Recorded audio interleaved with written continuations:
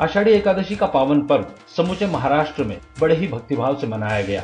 आषाढ़ी एकादशी के अवसर पर नवी मुंबई सहित पनवेल में कई कार्यक्रमों का आयोजन किया गया था। इसी कड़ी में खारघर में दिंडी पदयात्रा आयोजित की गई थी।